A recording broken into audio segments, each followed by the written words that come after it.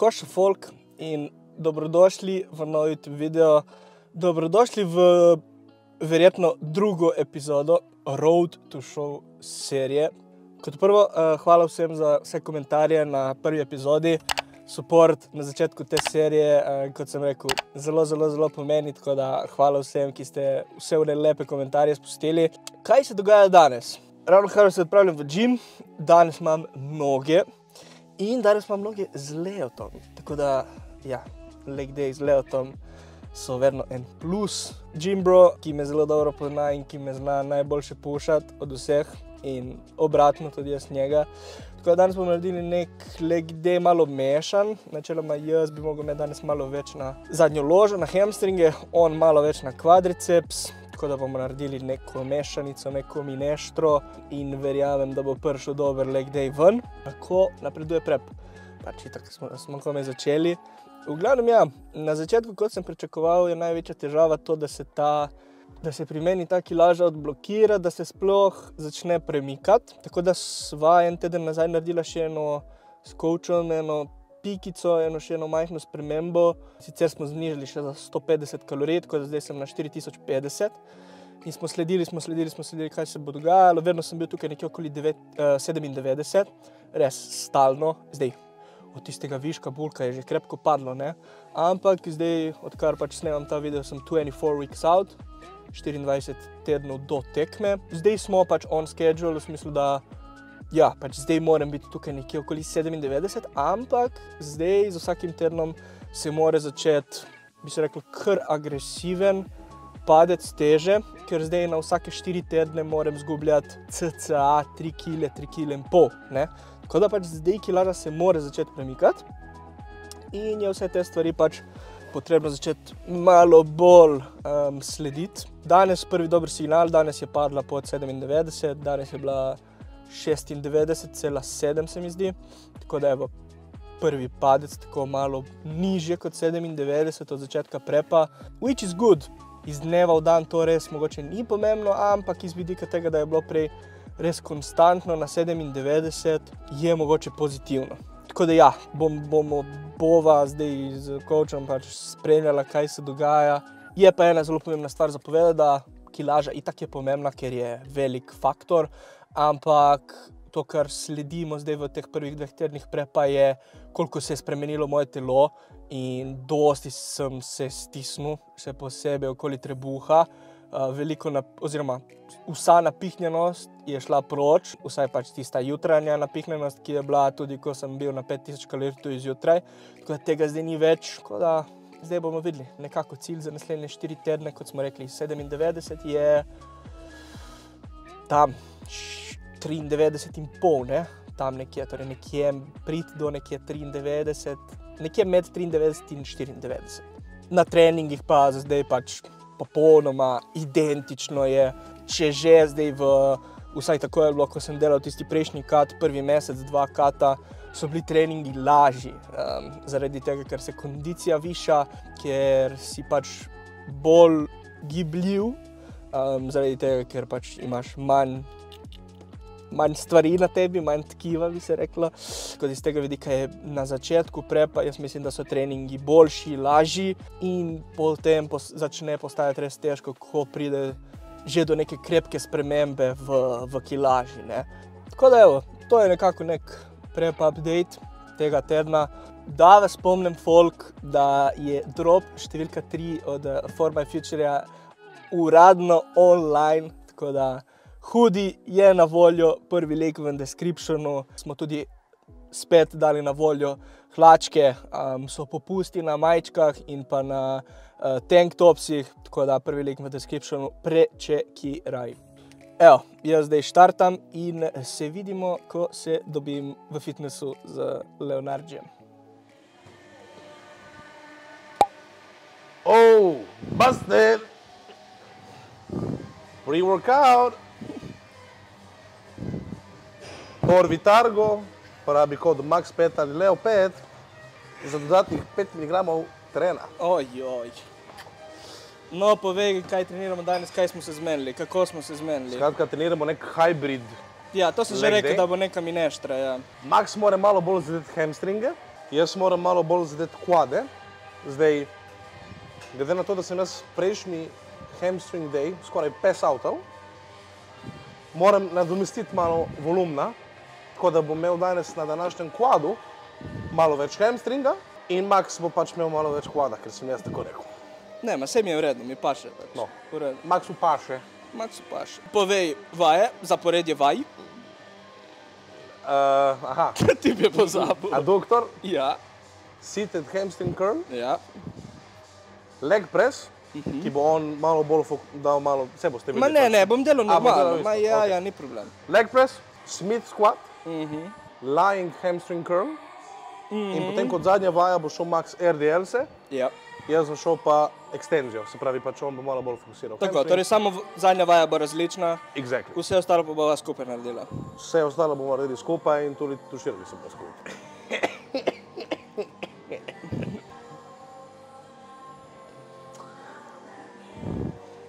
Pač samo pogledajte, kako je rdeč v faco. 116 kg, Koliko? 116. Bala, 116 kg danes zjutraj, bala, dame in gospodje. bala. I would like to say a special thanks. Rad bi se zahvalil nikomor, sebi.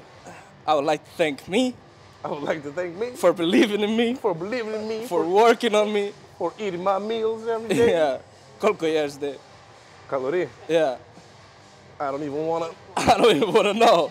Smo zvišali, jaz sploh nisem pogledal, sploh nisem šel gledat številk, sem šel samo, samo jedilnik. Sploh nisem šel gledat številk, ampak ajde, bom pogledal. Ma je napisano tudi, koliko kalorij imaš. Vse. A, ok. Ah, Oj, oj. 5300 trening, 4500 rest.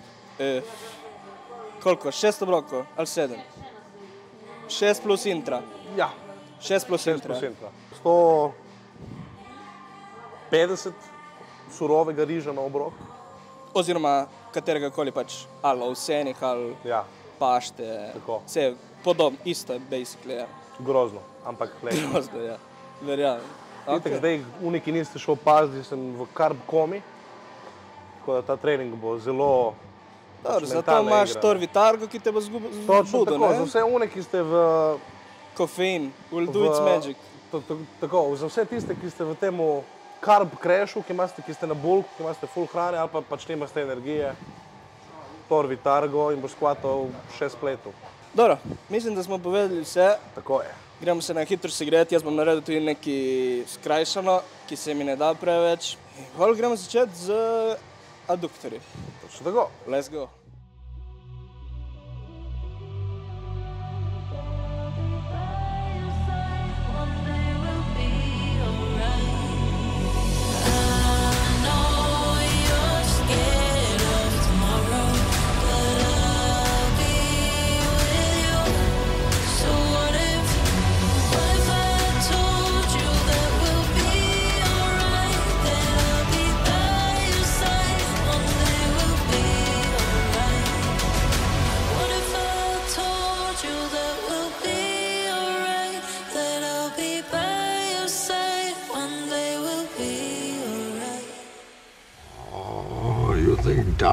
Darkness is your ally?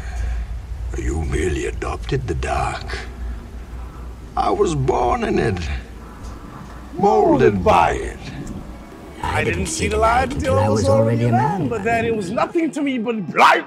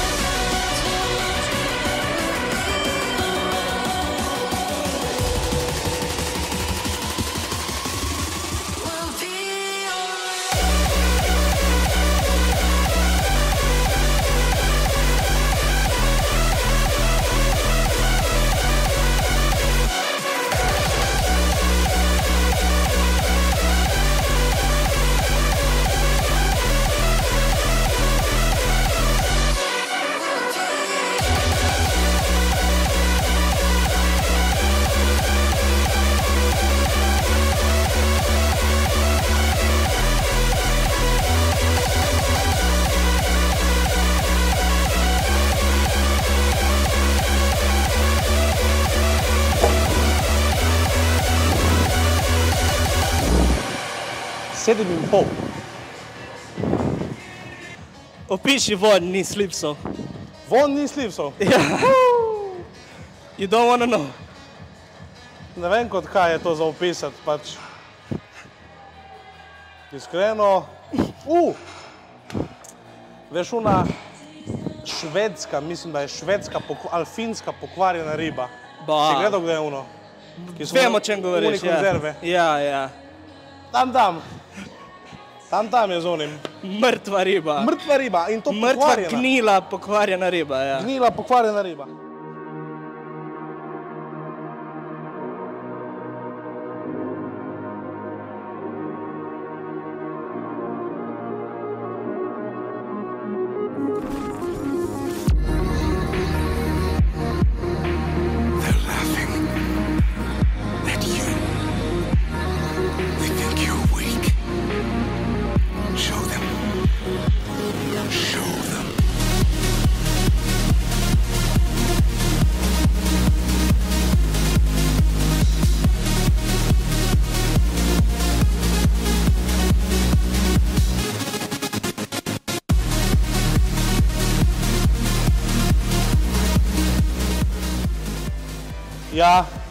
Še, Max, še. Come on. 23 XL, let's go. Come on. Come on. Ja, še. Ja, še imaš, še imaš. Kar pedi, kar dej. Kar dej. Gremo. Ja.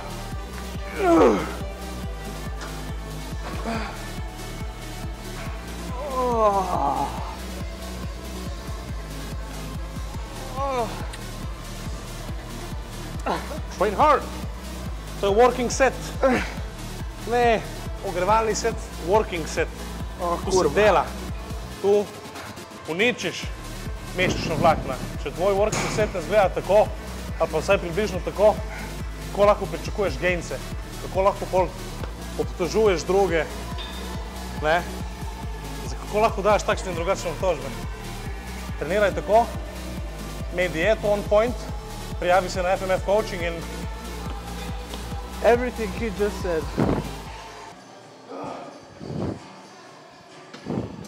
Samo malo več razširi noge. No, Max, zakaj ne delamo smit squata? Je bil zaseden. Kdo ga je zasedel?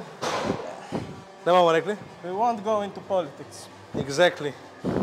Also me after one sip of alcohol.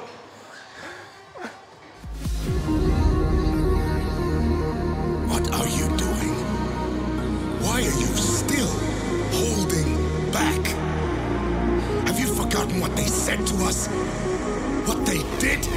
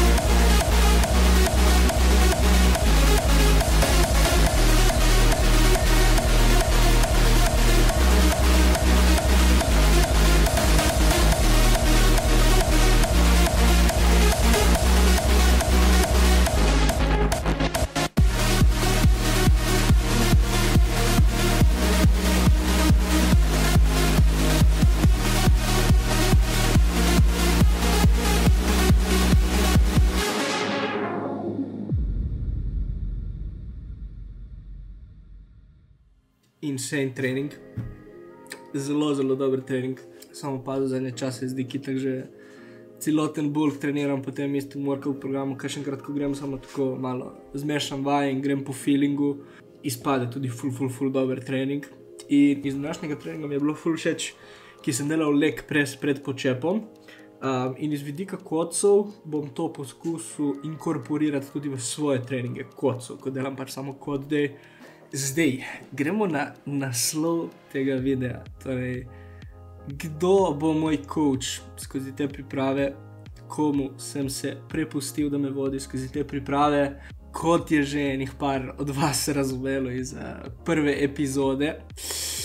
Izbral sem FMF coaching in sicer jaz in Leo bova trenirala mene. Torej, se bom self-coachal z pomočjo, z drugim mnenjem Leota, še z drugim vidikom Leota, z drugim razmišljanjem strani Leota, da imam pač vedno to eno osebo, s katero pač lahko komuniciram, s katero pač lahko skupaj delava odločitve, skupaj delava spremembe, skupaj analizirava to, kar se dogaja, ker verjamem, da pozneje, ko bom bolj globoko v tem procesu, nekatere stvari pač mi ne bojo tako jasno vidne ali pa razumljive, ker bom zmeden iz mentalnega vidika. Te prep sigurno zmede, v smislu, da se vidiš mogoče slabše kot si, v smislu, da mogoče si kaženkrat v šoku, oziroma paničariš, kot pa ne bi smel, tako da imeti v tem eno osebo, ki sploh ni v prepu, kot je naprimer Leo v tem trenutku,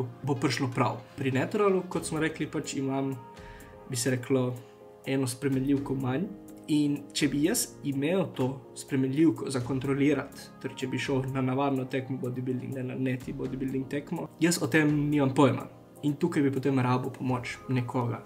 Ampak brez te spremenljivke imamo samo hrano in aktivnost in recovery, okay, ampak ni da stopnjuješ spanec skozi celoten prep. Ne?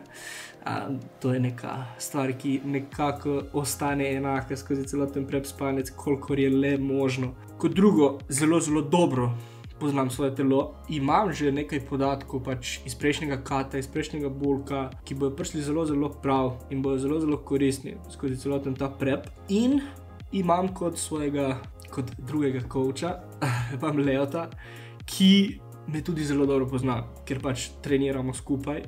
Um, tako da me pozna iz vidika treningov, me pozna iz vidika discipline, ve, kakšen je moj način dela, ve, koliko me lahko puša, ve, koliko je lahko iskren do mene, tudi v. Sigurno, torej, ko smo rekli, če bojo neki težki trenutki, ve, koliko je lahko iskren do mene. In zato mislim, da bo to zmagovalni odnos, oziroma zmagovalno sodelovanje skozi celoten ta prep. In mislim, da mi bo to še dodalo samo še eno stopničko više, mogoče celo več stopničk znanja, ki ga bom imel potem v svojem repertoarju. Torej, da sem se sam potisnil skozi prep, ker menim, da pač če delujem v tem nekem svetu fitnesa, kakorkoli pač bodybuildinga še ne govorim, ker se ne gledam kot bodybuilderja, še je pač dobro imeti čim več znanja na papirju, čim več izkušenj, čim več dejstvi, ki stojijo za tvojimi besedami, um, za tem, kar ti govoriš, učiš. Mislim, da bo iz tega vidika to zelo, zelo, zelo pozitivno. Se tudi ful veselim, realistično. Pač iz enega vidika ja, je več pritiska, ker delam to prvič, oziroma delava z Leotom to prvič, je neka nova stvar. Načeloma ja, je nova, ker je različen prep od klasičnega kata, ampak se res veselim, da grem v to v bistvu sam. Torej, malo več riska, uh, malo več tveganja, ampak je lahko potem nagrada na koncu toliko večja, oziroma toliko več lahko mogoče, ko vse to neki sam dosežeš, uživaš v njej. Ne? Tako da evo, na to temo lahko dam tu profil od Leota, profil od Forma Future Coachinga, coaching, ki ga imamo jaz in Leo, na katerega ste vsi vi vabljeni, da se prijavite, če kogarkoli zanima, da se začne ukvarjati s fitnessom malo bolj resno, da začne dosegati malo bolj resne cilje. Check it out, prijavi se, imaš tudi link v descriptionu.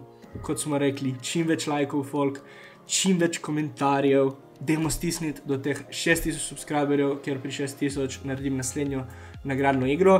In glavna nagrada, kot sem že rekel, ampak verjetno se ne spomnite vsi, Tisti, ki zmaga tisto nagradno igro, bo gost v enem mojem videu in bom naredil, basically, treniram svojega sledilca. Tako da, demo pride še teh 6000, da naredimo to nagradno igro. To je to od mene za to drugo epizodo Road to Show serije. Hvala za podporo. Iz tedna v teden, ki mi ga dajete, zelo, zelo ga cenim in zdaj ga zelo, zelo potrebujem. In eh, se vidimo naslednjo sredo ob šestih v novem videu.